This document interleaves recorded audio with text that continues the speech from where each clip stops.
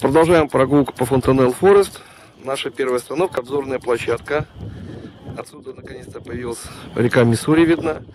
И вдалеке виден даунтаун и небоскребы.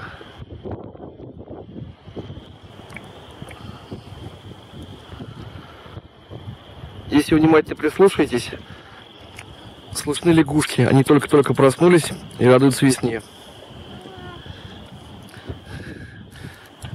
Зинуля, мы весне радуемся? Да, мы все проснулись. Вместе с кваками радуемся, да? Ну, особенно мелкая радость. Мелко у нас сегодня отжигает, да.